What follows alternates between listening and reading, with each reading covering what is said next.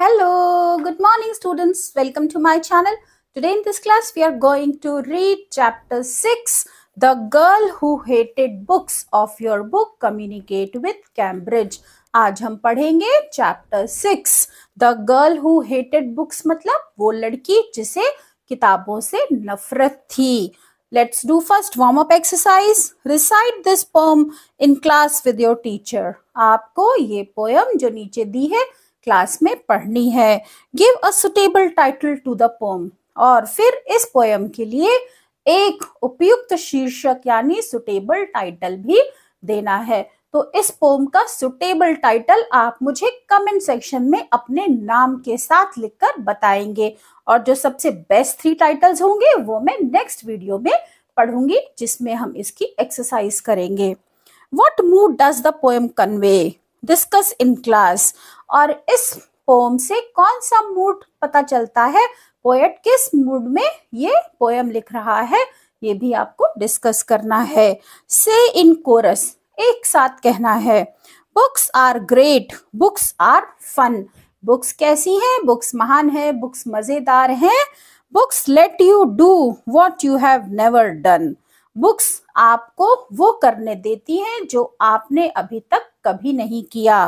Read a good mystery solve a crime read about history go back in time किताबें क्या करती हैं? एक मिस्ट्री यानी कुछ कल्पना, जो काल्पनिक कहानियाँ हैं, वो आप पढ़ सकते हैं। क्राइम को सॉल्व कर सकते हैं, किसी गुत्थी को सुलझा सकते हैं। हिस्ट्री में क्या हुआ था, इतिहास में वो आपको किताबें बताती हैं और आप किताबों से समय के पहले जा सकते हैं। इसका मतलब किताबें क्या बताती हैं, हमें अपना इतिहास कैसे पता चलता है? किताबों से। तो किताबें ही होती है जिनके माध्यम से हमें पहले क्या हुआ था वो पता चलता है। तो बुक्स क्या है? बुक्स मज़ेदार है, बुक्स में कहानियाँ हैं, बुक्स में बहुत सारी क्राइम स्टोरीज हैं, राजाओं की कहानियाँ हैं, परियों की कहानियाँ हैं। पहले क्या हुआ था? राजाओं के बारे में लिखा हुआ है। तो किताबें हमें सब कुछ बताती हैं। Read about history go back in time read about a lost dog where it can be एक गुम हुए कुत्ते की भी कहानी हो सकती है और पता लगाते हैं कि वो कहाँ है। Read about a giant frog under the sea और क्या हो सकती है किताबों में? एक बड़ा सा फ्रॉग जो समुद्र के नीचे है, यानी काल्पनिक कहानी। Read a very funny book tears go away जब आप उदास हो तो एक मज़ेदार रोचक कहानी पढ़ लीजिए और आपका मूड खुश हो जाएगा। Read a bright sunny book on a rainy day जब बारिश का मौसम हो तो कैसी किताब पढ़िए? ब्राइट सनी बुक पढ़िए। Books are great books are fun let's read books everyone तो पोइट कहता है कि बुक्स बहुत महान है बुक्स बहुत मज़ेदार है। तो चलिए हम सब किताबें पढ़ते हैं, क्योंकि घर में बैठे हुए केवल आप किताबों के पन्नों को पलटकर सारी दुनिया की, समय के पीछे की, आगे क्या होने वाला है, इस सब की जानकारी प्राप्त कर सकते हैं। तो इसलिए बच्चों किताबें पढ़िए। Now let's read the chapter once there was a girl named Meena एक बार की बात है, एक लड़की थी जिसका नाम था Meena.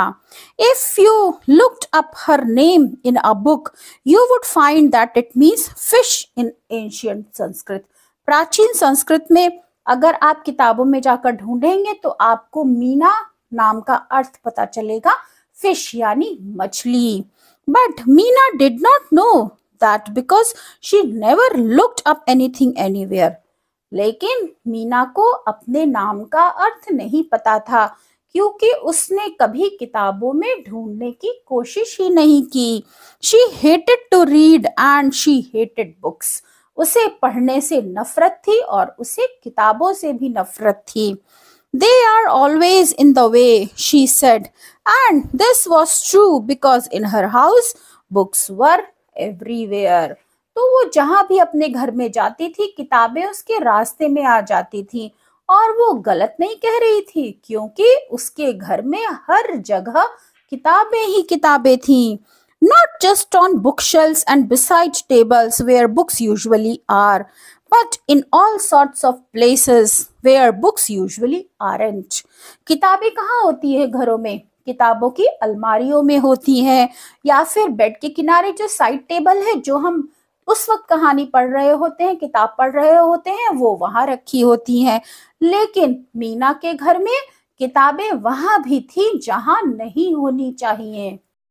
There were books in drawers and desk in cupboards and chests उसके घर में किताबें ड्रॉर्स में थी। डेस्क में किताबें रखी थी, कबर्ड्स अलमारियों में किताबें रखी थी और साथ ही साथ चेस्ट यानी लकड़ी की अलमारी में भी किताबें ही किताबें थी। There were books on the sofa and books on the stairs books stuffed in the fireplace and stacked on the chairs किताबें कहाँ कहाँ थी? सोफे के ऊपर किताबें थी। और स्टेयर सीढ़ियों पर किताबें रखी हुई थी। और साथ ही साथ जो फायर प्लेस घर में आग जलाने का एक कोना होता है, वहाँ भी किताबें भरी थी और साथ ही साथ चेयर्स के ऊपर भी किताबों का ढेर लगा हुआ था। Worse still her parents were always bringing home more books और इससे भी बुरा क्या था? उनके पेरेंट्स मीना के पेरेंट्स अभी भी किताबें खरीद कर लाते रहते थे। They kept buying books and borrowing books and ordering books from catalogues और वो लगातार किताबें खरीदते रहते थे, दूसरों से मांग करके भी लाते थे। और कैटलॉग्स को देख कर यानी किताबों के नामों की जो लिस्ट थी, उसे भी चेक करके अपनी पसंद की किताबें ऑर्डर करते रहते थे। They read at breakfast and lunch and dinner और वो किताबें पढ़ते कब थे? ब्रेकफास्ट में किताबें पढ़ते थे लंच करते हुए किताबें पढ़ते थे और यहाँ तक कि डिनर करते हुए भी किताबें ही पढ़ते रहते थे। But when they asked Meena if she wanted to read she would stamp her feet and shout I hate books लेकिन जब वो मीना से कहते थे किताबें पढ़ने के लिए तो मीना अपने पैरों को ज़मीन पर पटक कर कहती थी कि मुझे किताबों से नफरत है।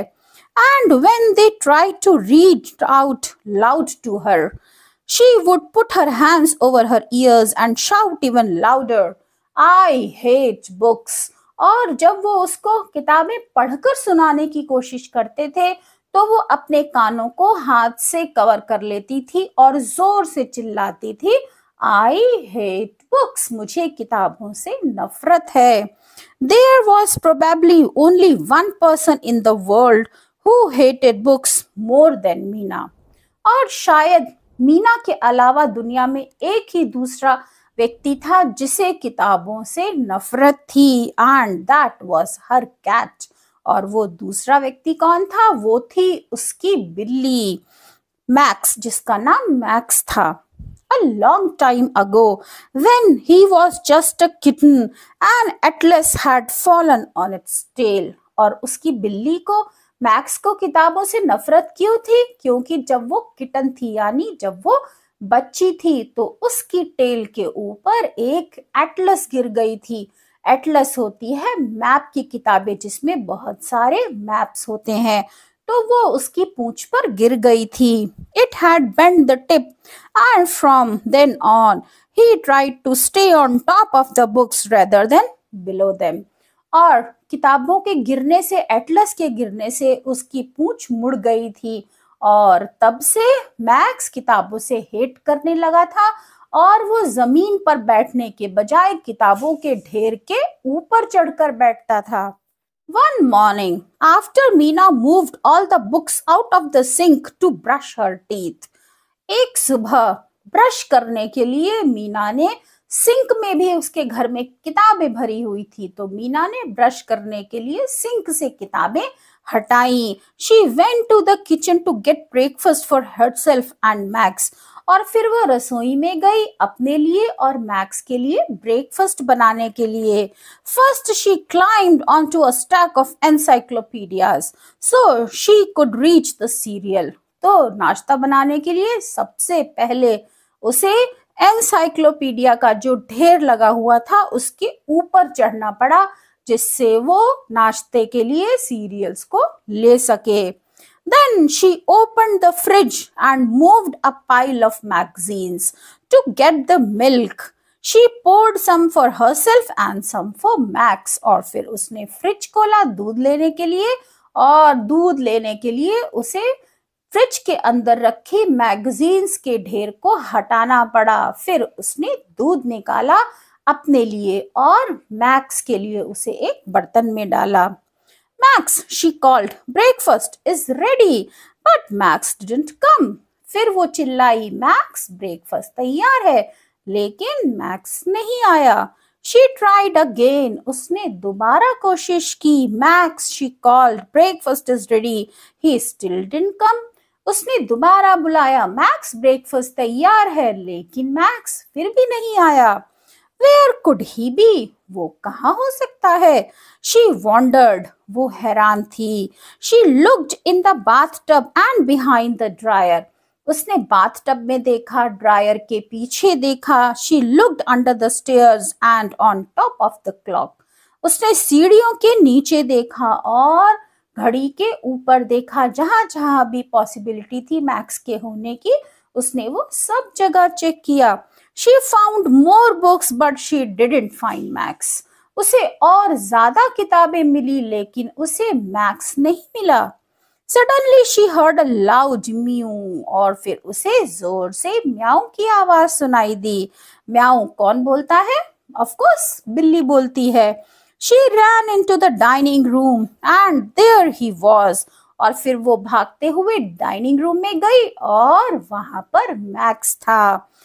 He was stuck on top of the tallest stack of books in the house और वो कहाँ फंस गया था? घर में जो सबसे ऊँचा ढेर था किताबों का, वो उसके ऊपर फंस गया था।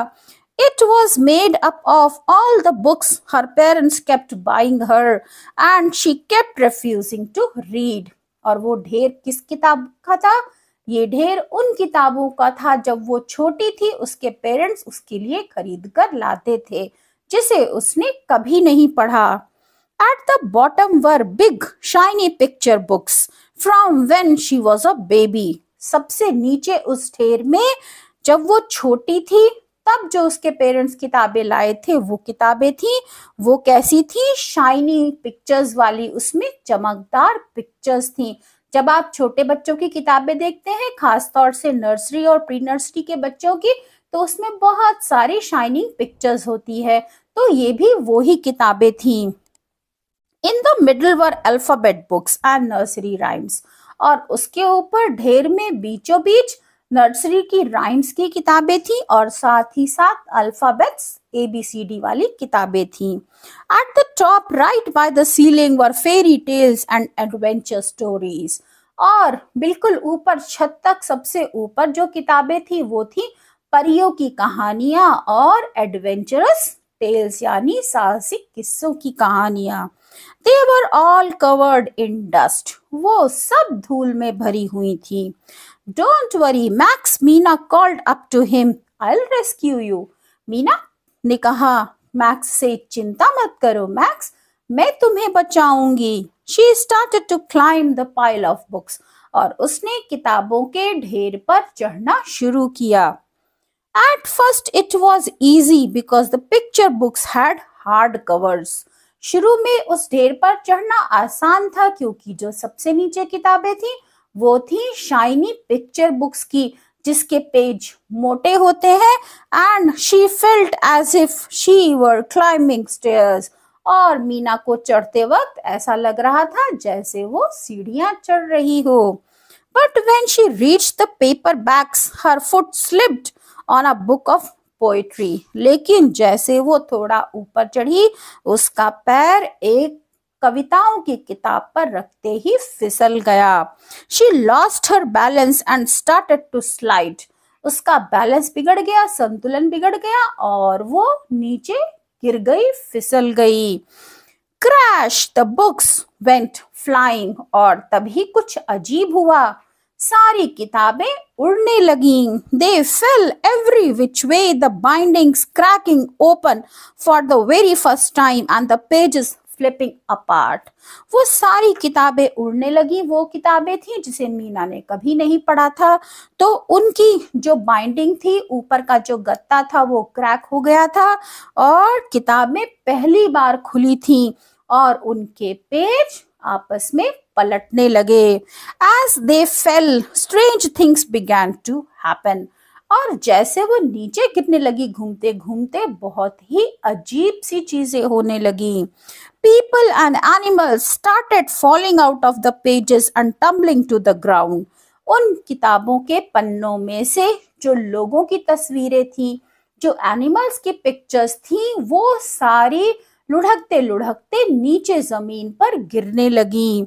They dropped one on top of the other scattering the books and toppling the chairs और वो सारी किताबें एक के ऊपर एक सब जगह फैल गईं और कुर्सियों के ऊपर भी वो सारी गिर गईं।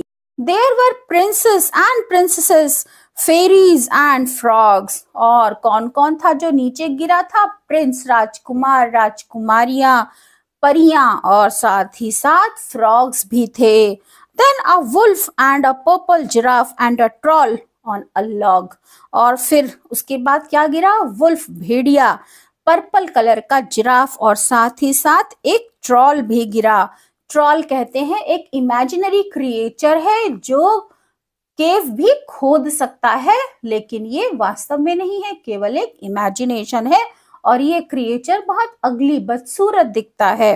There were elephants emperors and a bunch of monkeys twisted up in themselves और साथ ही साथ जो ज़मीन पर गिरे थे एनिमल्स उनमें एलिफेंट थे एम्परर्स सम्राट थे और कुछ मंकीज भी थे जो इधर उधर कूद रहे थे। But most of all there were rabbits following this way and that लेकिन सबसे ज़्यादा जो थे उनमें से वो थे रैबिट्स खरगोश थे जो इधर उधर गिर रहे थे। Wild rabbits and white rabbits and rabbits with hats और रैबिट्स कैसे थे? कुछ सफ़ेद रंग के रैबिट्स थे, कुछ जंगली रैबिट्स थे और कुछ रैबिट्स ने अपने सिर पर हैट पहनी हुई थी। Meena sat there in the middle of it all too surprised to move और मीना उन सब के बीच में बैठ गई और वो हैरान थी कि वो कैसे इधर उधर हिले। I thought books were full of words not rabbits उसने सोचा कि किताबें तो शब्दों से भरी हुई थी रैबिट्स से नहीं she said as six more came rolling out of a book beside her क्योंकि जैसे ही उसने ऐसा सोचा, उसके पीछे छह और रैबिट्स लुढ़कते हुए आ गए। By now she couldn't recognise the dining room at all और अब तक डाइनिंग रूम की स्थिति ऐसी हो चुकी थी कि वो पहचान नहीं पा रही थी कि ये वही डाइनिंग रूम है। The elephant was balancing on a coffee table juggling the good china plates elephant क्या कर रहा था? कॉफ़ी टेबल पर आप पिक्चर में देख सकते हैं, एक पैर से खड़ा होकर बैलेंस करने की कोशिश कर रहा था और जगलिंग कहते हैं, आपने देखा होगा सर्कस में जब दो तीन बॉल्स को एक साथ उछालकर कैच करने की कोशिश की जाती है। तो एलिफेंट क्या कर रहा था? वो प्लेट्स को क्रॉकरी वाली प्लेट्स को उछालकर उनसे जगलिंग कर रहा था और ऑब्वियसली प्लेट्स टूट रही थी। The monkeys had torn down the curtains and were using them as capes और मंकीज ने क्या किया था? पर्दे फाड़ दिए थे और उसे क्लोक्स की तरह यूज़ कर रहे थे। And the rabbit was nibbling on the table legs और रैबिट्स क्या कर रहे थे? टेबल के जो पैर थे, मेज की पैरों को कुतर रहे थे, चबा रहे थे। Students will continue this story in part two I hope you have understood तो जल्दी से दूसरे पार्ट पर क्लिक कीजिए और उसे देखिए।